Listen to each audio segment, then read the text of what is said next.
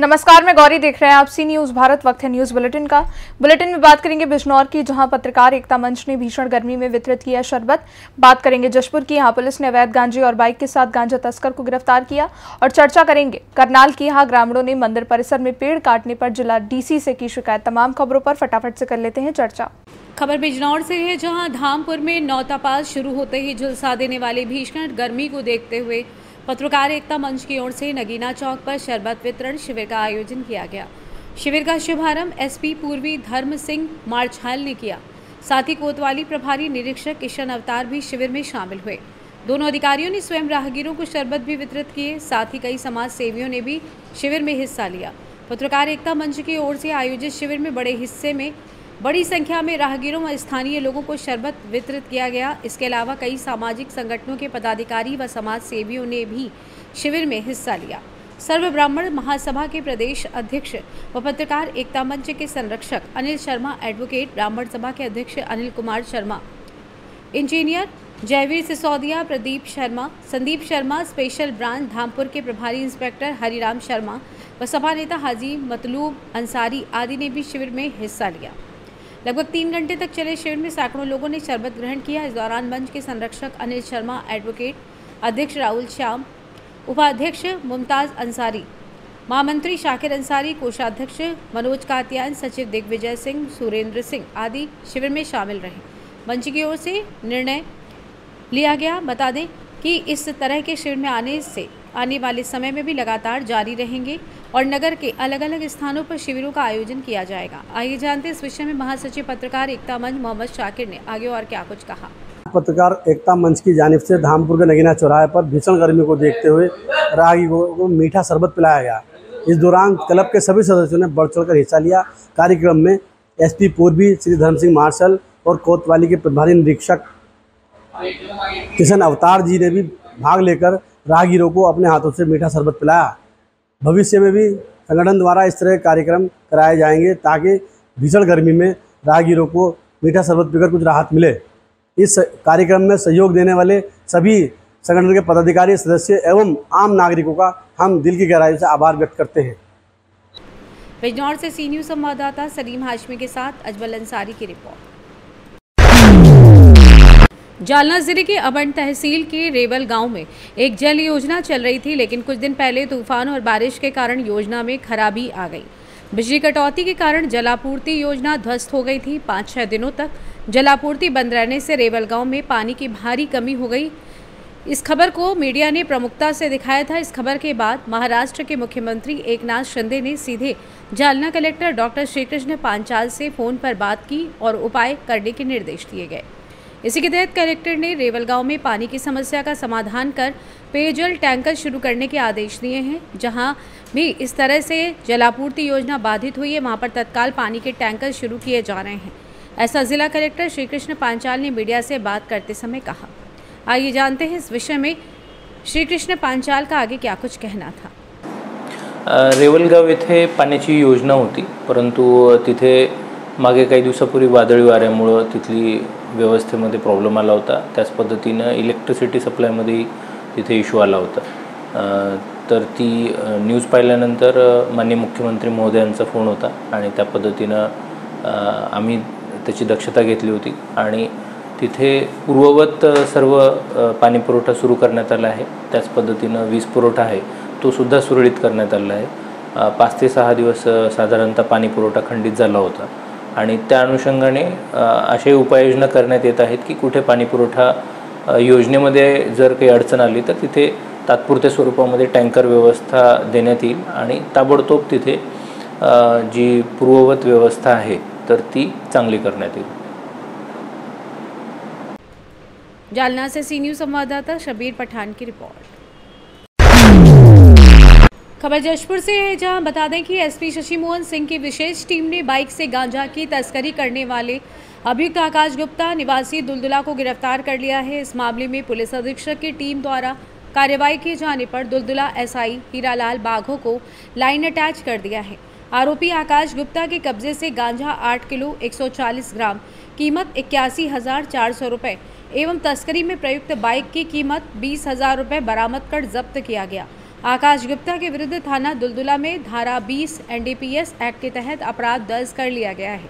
इस दौरान पुलिस अधीक्षक जशपुर शशि मोहन सिंह द्वारा अपील की गई है कि किसी भी आम नागरिक को अवैध मादक पदार्थ, तस्करी जैसे गांजा, अवैध शराब कप सिरप जुआ सट्टा इत्यादि के संबंध में जानकारी देना हो तो सीधे पुलिस अधीक्षक जशपुर को सूचना दे सकते हैं। एक जिम्मेदार नागरिक होने का परिचय दें।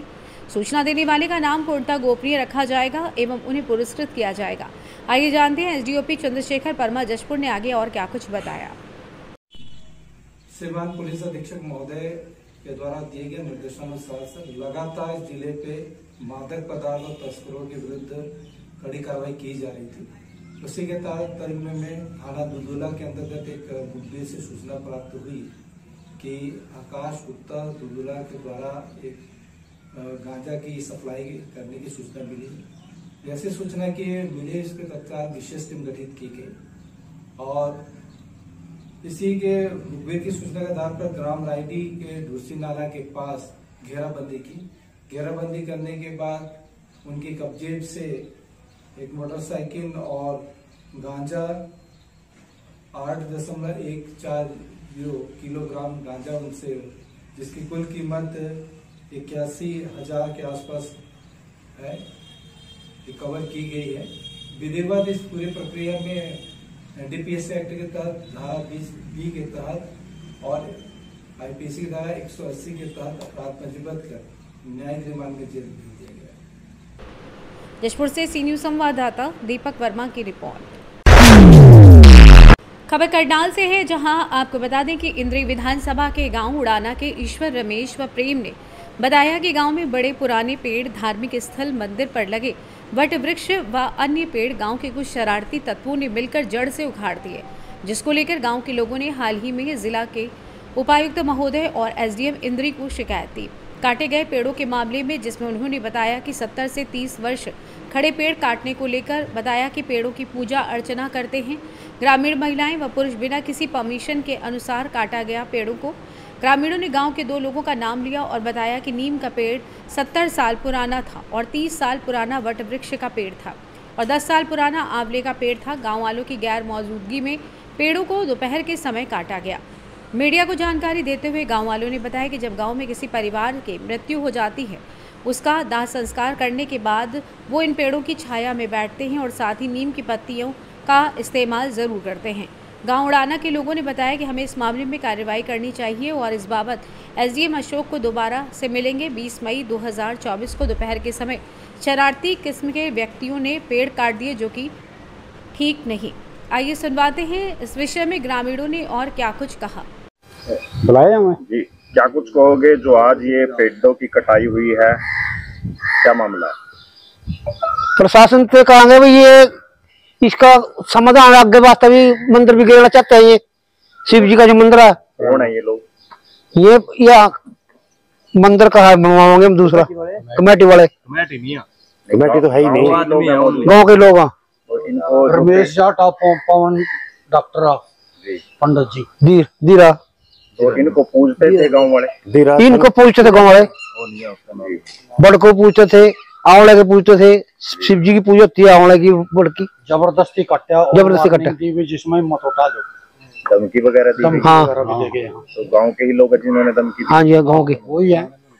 नहीं इस, इसके अलावा वर्षों से खड़े हुए थे ये पेड़? ये ये तो सैकड़ों वर्ष सौ वर्ष हो गए। से खड़ा था नीम का पेड़। हाँ। नीम का पेड़? जी। और दूसरा? और दूसरा खड़े थे बीस साल बीस साल तक खड़े थे। तो अभी आपने शिकायत कहाँ कहाँ दी है? जी। इंद्री। इंद्री। तो अभी कार्रवाई चाहते हो कार्रवाई चाहूँ हाँ, मिलना भी चाहूँ उनसे। जी। तो कोई परमिशन वगैरह भी ली गई थी या किसी की कुछ नहीं। कोई किसी की कोई गाँव को सूचना दी गई थी किसी किसी को सूचना भी नहीं है। पेड़े की कटाई होने के बावजूद भी नहीं ना ना कोई सूचना नहीं। तो ये तो अपनी मनमर्जी हुई। हाँ जी। अपनी मन मर्ज़ी से करेगा। हाँ हाँ एक, एक और चीज़ मेन मुद्दा। सबसे बड़ी बात यह है कि मतलब पूरे गाँव में कहीं भी नीम का पेड़ नहीं है। और मरने के बाद संस्कार के बाद मतलब नीम का पत्ता मुँह में दबाया जाता है। इसके ठीक दो दिन के बाद ही गाँव में एक जवान मौत हुई और यहाँ उस वक्त पूरे गाँव को पता लगा कि मतलब नीम का पेड़ तो है ही नहीं। तो इन्होंने फाड़ दिया। मंदिर में आया बंद हो गया मंदिर में आते आते यहाँ मतलब तिलांजलि देने के लिए। तिलांजलि के लिए पानी नहीं छोड़ा है। तिलांजलि के लिए इन्होंने मतलब कोई दाब का पेड़ा नहीं छोड़ा वो भी फाड़ दिए। नीम का पेड़ भी फाड़ दिया। जब ये मरने वाला ही मतलब इन्होंने मतलब कि संस्कार करने वाला ही मतलब कोई मुद्दा नहीं रहने दिया पूरे गाँव में। क्या इनको नहीं मरना जी? जी। क्या इनके परिवार में किसी की मौत नहीं होगी? तो सरपंच से बातचीत हुई है गाँव के जो सरपंच है? नहीं हुई। सरपंच तो को तो नॉलेज में ही नहीं थी भाई ये पेड़े फाड़ेंगे।